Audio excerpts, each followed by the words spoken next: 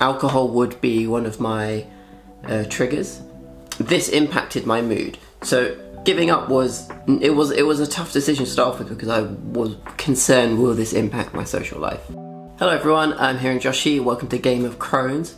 So today what we're going to be talking about is um, the reasons why I gave up alcohol. So obviously the first reason is because of um, my Crohn's disease. So health is a big factor when it comes to drinking alcohol, particularly excess amounts of alcohol. Um, I might have like the odd half a pint once a year, but I rarely, rarely touch alcohol now. Alcohol would be one of my uh, triggers.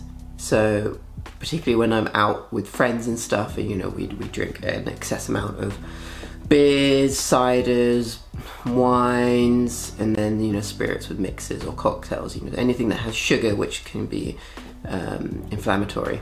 Another reason why I gave up alcohol was because of the hangovers and how hangovers combined with um, chronic flare-ups were just the worst. You know, it would be three, four days where I would, I just wouldn't be able to function properly. I'd be feeling really fatigued.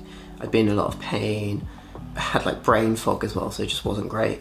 This impacted my mood. So when you are feeling like that, and I don't know if anyone else uh, feels the same, but you don't feel in the right frame of mind to be productive, it's harder to just go about trying to do your normal daily routines.